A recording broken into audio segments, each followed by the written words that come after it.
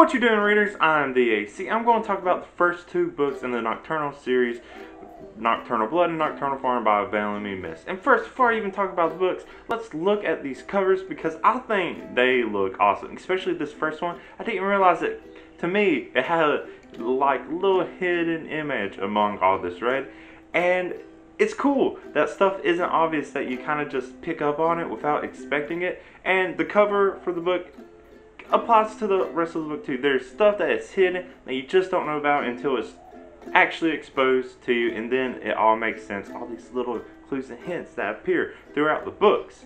But before I get to anything spoiling, let me just give you a brief review and thoughts on what I thought of the two books. So first one, Nocturnal Blood. What it is about is this girl named Leia. She has a friend she hasn't seen in a while come back to town named Sophie, and it turns out she's a vampire. But Sophie gets in a little trouble. She has to end up killing another vampire, but this causes them to have to go on the run. And Sophie brings Leia along because she says it'll protect her and her family. And what the book, to sum it down into one little description, turns into is a dark vampire road trip. Definitely not a fun one though. Throughout it, we see this quick seemingly quick introduction to this new vampire world Leia knew nothing about. Renfields, Sangues, I think that's how you say them, and ghouls. And then they meet other vampires, they meet vampire hunters. You get a little bit of everything so far. And it gets, it's a dark, not fun like I said. But, oh man, it's intense. And it always stays exciting. The second one's Nocturnal Farm. This one takes place six months after the first book, and Leia's brother Nathan is going on a trip to Amsterdam. And after not checking in for a couple days, the family gets worried. So Leia decides to take a trip to Amsterdam to go find him. And the first one was just this quick introduction road trip, this one dives right into an Amsterdam filled with vampires and all these other aspects of this vampire world. That's she is trying to have to brave through. The other big thing about Leia that goes through in both of these books is she has OCD. She has these quirks. If someone compliments her, she claps seven times. Stuff like that. One, I like that there's finally a book or anything that uses OCD in not a cute way. it's like a serious disorder and it really affects her. And that, especially in the first book. In the second book, though, after a whole book of dealing with vampires in this new world, it's not as big of a problem as is the trauma from dealing with what happened in the first book. And I like to see where that develops and you can see and understand why this change is. And it's really nice to show, maybe not necessarily character growth or development, but like there is a reasonable change for this. Now, the other thing I'm going to add to this is I I've always been fascinated with vampires, but I've also mainly been disappointed in other things I've read or watched about vampires. There's nothing really that connects me and really gets me even more fascinated with them. This book finally does. This is the vampire book that I've been looking for. Of course, Twilight blew up and became popular. This is what should have been popular. This one's actually what you think a vampire should be. This is what you would expect when you think of Dracula or Nosferatu. Like this dark and dangerous, not this cute and lovey blah blah blah. And yeah, there's still some humanizing in vampires. Humans are going humanized, even though you can say a lot of humans could end up being the least humane, but yeah, I'm glad to finally see a gripping vampire story that actually reminds me why I was loved vampires when I was younger and glad something is sparking that interest again after the lack of actually good stuff. But let's get some spoilerly stuff because like I mentioned at the beginning, there's stuff that's hidden throughout and that's big reveal that I didn't see coming. Starting back with Nocturnal Blood. So, throughout this, they meet all these different kinds of things, people that are trying to kill them. And this entire time, for some reason, Leia's really trustful of people.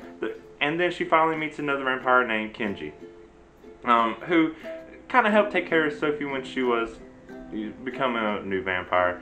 And Kenji's cool. Japanese, uh, past Yakuza, even though they call it Japanese Mafia. I don't know why they don't ever say Yakuza. Um, and she instantly trusts him too. After a whole book, she still trusts him, and it's nice.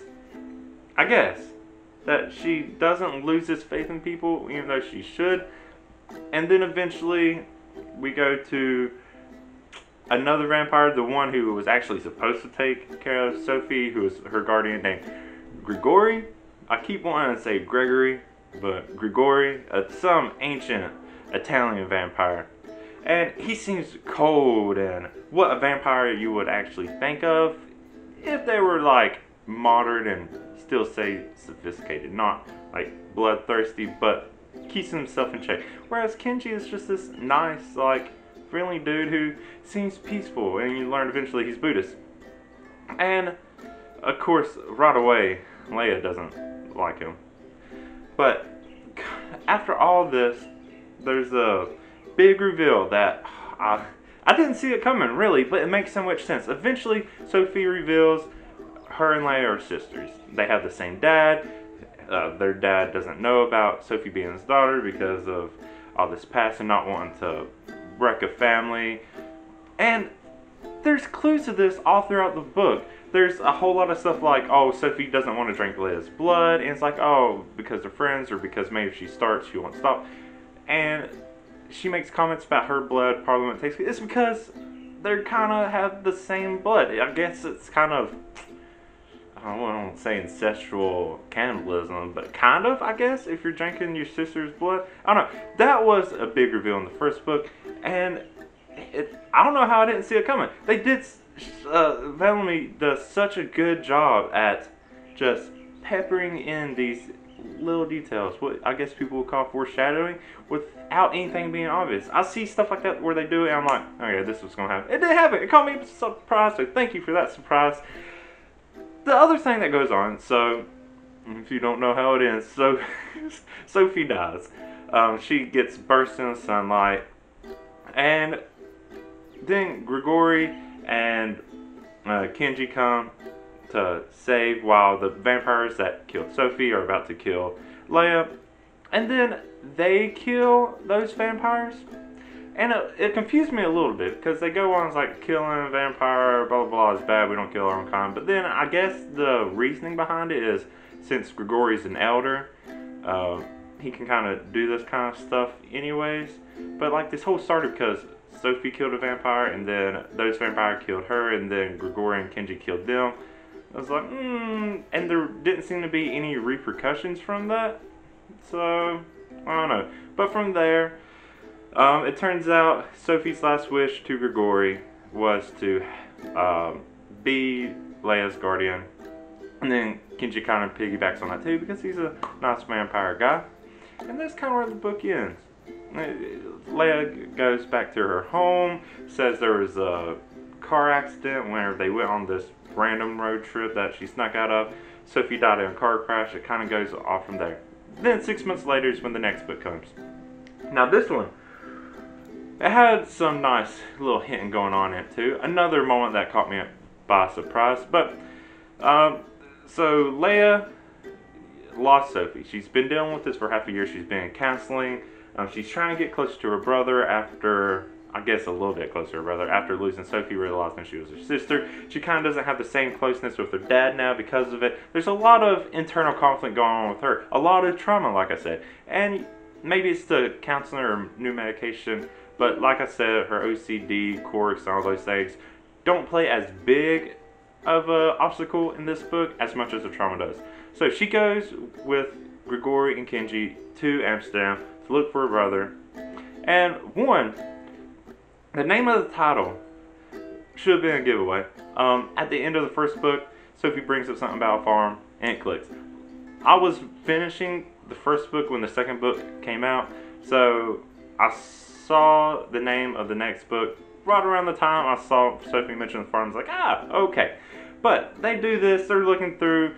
Eventually, Leia meets some vampire hunter And they find the farm, you know, stuff uh, goes through. At first, I was like, man, they're kind of taking the time. It takes about a few days to find this farm, find her brother. But what catches me by surprise in this book, and it's not the fact that one of the hunters turns out to be on the enemy side. I kind of saw that coming. It, his name's Adam. Uh, he, was kind of creepy as soon as Leia meets him anyway. So I was like, mm, something's not wrong with you. And what catches me surprised with him though is that he's a vampire. And it's like, okay, that can be something. Well, but it, he's an experimental vampire. He doesn't get hurt with the sun, and I guess that's why it caught me off guard. But it's also kind of a weird thing that all of a sudden there's experimental testing to make vampires.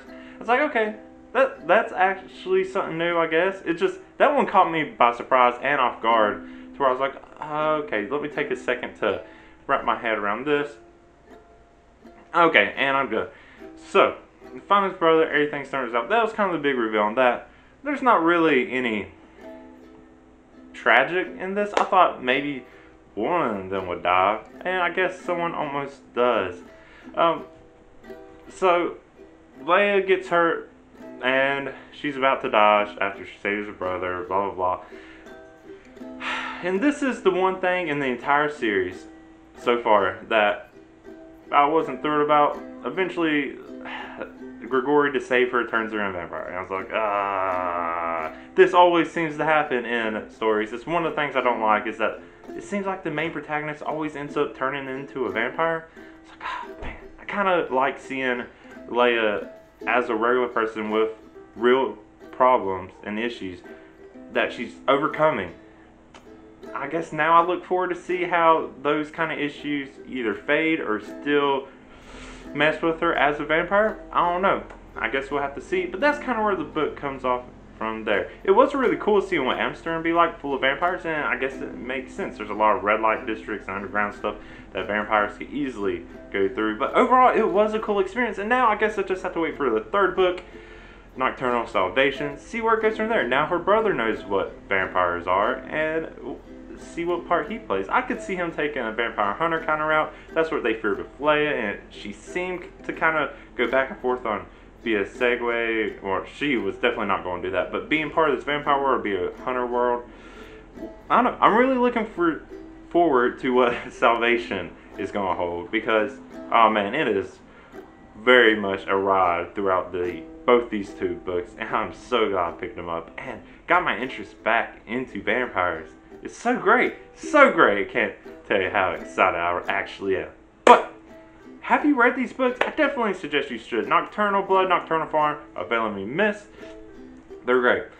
If whether you are a huge fan of vampires or not, the way it's written and all the things you can read and discover in them is fascinating. You should check them out. But if you have read them, let me know what you think and what your favorite parts of the books are. If you like what I have to say, go ahead and like this video. You want to see me talk more about other things I read and whatnot, go ahead and subscribe to my channel. You can see when I do all that. But until next time, I'm the AC. Thank you for watching and bye.